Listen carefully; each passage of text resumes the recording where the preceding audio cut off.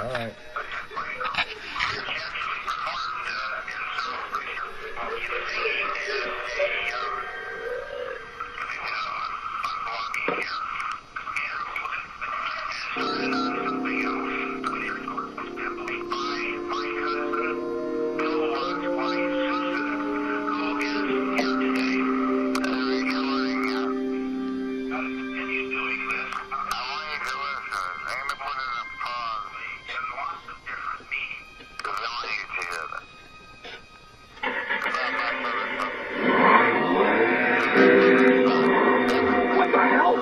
Killed you! I choke myself every day, you bastard!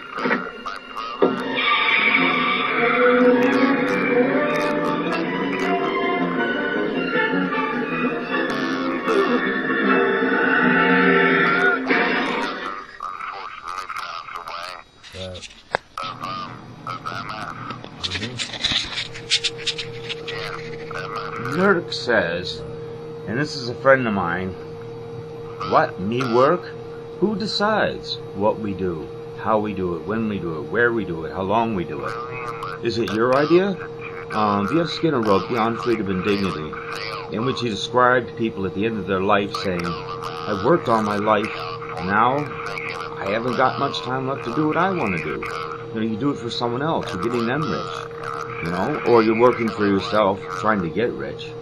But is it really worth it, you know? God says slack off, you know? Let me do the work. There's more than enough food and supplies and build houses and stones and, you know, a moderate amount of work is necessary to survive, but still, you know, it's this regimented, you know, codified for an authoritarian perspective on labor I, I think it's destroying a lot of people's minds and their consciousness and their souls. Just my opinion. But it might be worth thinking about.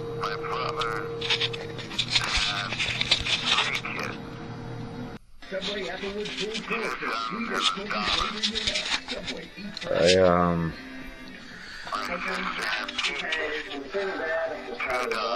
It's hard to meet someone when you're always working. Did you know that people who join Match are three times more likely to find a relationship than people who don't? Match.com. Start for free today. when I was, I guess I was 17, 18, I was walking down the street in Pascal and I saw this glowing green fire with a red cherry tail. I have no idea what it was. It didn't look like a spacecraft or anything, but Okay, that's good. it was moving slowly across the sky and then disappeared. Um, a couple years later, I was with a bunch of friends. They were doing acid, I wasn't. But we saw through the trees a light following us. Anyway, I did uh, Who knows? I was pretty high just as a contact uh, high now. Then when I was in Burnaby, I was probably 33, 34. I looked up. I don't know why I looked up. It still eludes me to this day why I bothered to look up, but I did. The night before, I was. Uh, And uh, one of the things I found what kind of was that um, there was a big found saw was a big triangular black just like music. ship making no sounds and just hovering there. And it had running lights, two rows of running lights on the bottom. Now, different colors. Now, I saw it shrink and shrink and shrink and But walk for where? I actually, Wait a second. well, I said, you know, I want to record what the this. hell is that?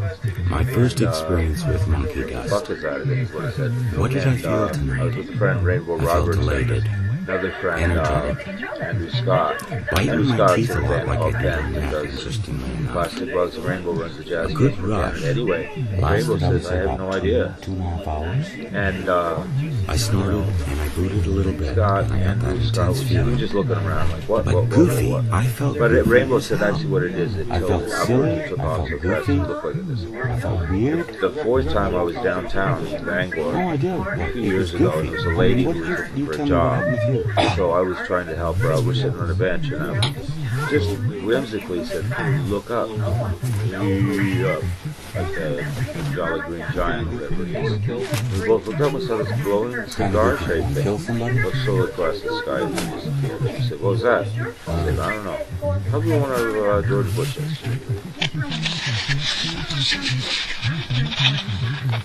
I'm not